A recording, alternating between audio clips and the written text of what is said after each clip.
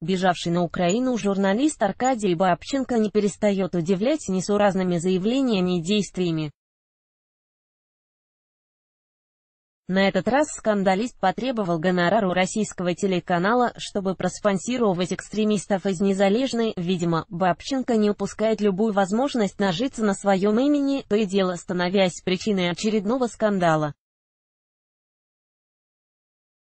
Так, журналист опубликовал в своем Facebook скриншот переписки с якобы представителями телеканала НТВ. Судя по содержанию диалога, Бабченко предложили дать небольшое интервью, в ответ на что он потребовал крупную сумму 50 тысяч долларов. После того, как собеседник стал торговаться с перебежиком, тот согласился на гонорар в 30 тысяч рублей. Более того, Бабченко сообщил, что эту сумму необходимо перевести на счет украинских радикалов из запрещенной в России организации «Правый сектор». Целую нежно, с бандеровским приветом от национального предателя, либерального ублюдка и агента Госдепа, резюмировал свое сообщение, Балагур пост вызвал бурное обсуждение среди пользователей социальной сети.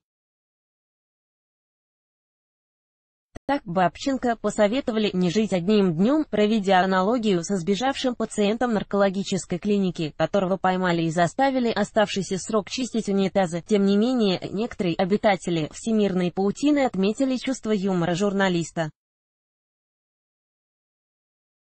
Деньги, вечером, стулья утром, добавил один из пользователей. Напомним, 29 мая появилась информация об убийстве Аркадия Бабченко.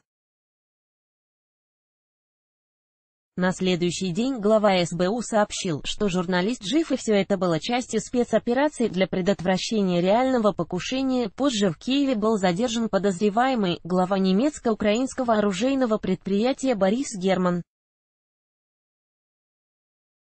В отношении него возбуждено уголовное дело по статье «Организация приготовления к теракту».